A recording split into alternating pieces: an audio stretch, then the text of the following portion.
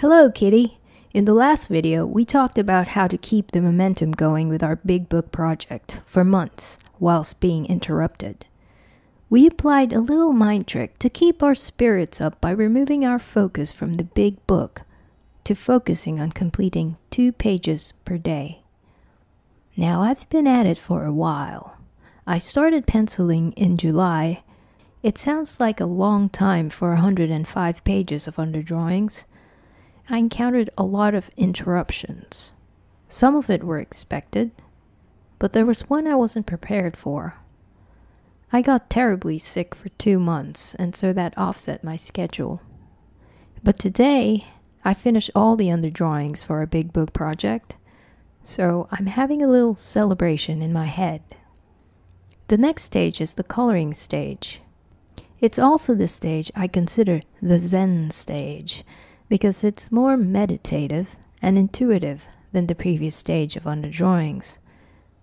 When I'm penciling and thumbnailing, I feel I'm using both sides of my brain because I have to be both artistic and calculative, which is why I find it the most challenging stage of the comic book creation process. But once we're in the coloring stage, this one feels more like a treat. It feels like en plein air. It feels like I'm painting outdoors in the land of ponies and rainbows. It's my favorite stage because now it becomes easier to recover from an interruption. Yep, there will always be interruptions. Let's just get used to that. But because we are now done with the underdrawings, we're done with the blueprints. All we need to do now is follow the lines and make the panels pretty to look at. I think this is the state in which most beginners think we inhabit all the time as comic book artists, which is a little deceiving. We certainly look forward to this stage every time we start a new project, but the preparations before and the finishing touches that come after this is the bulk of the work.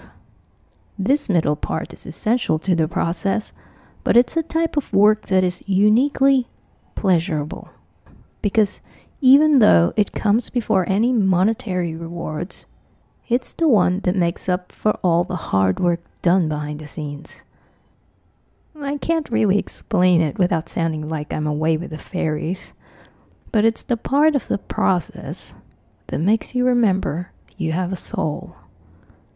It's the real reason why I'm doing this. This is my reward.